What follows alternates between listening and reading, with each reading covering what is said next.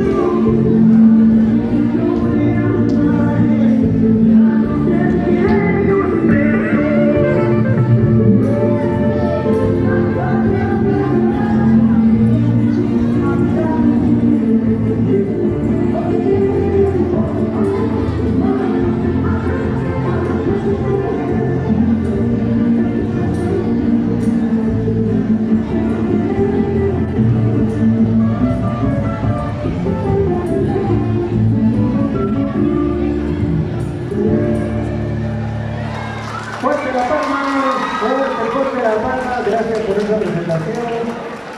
Han venido de de extranjero.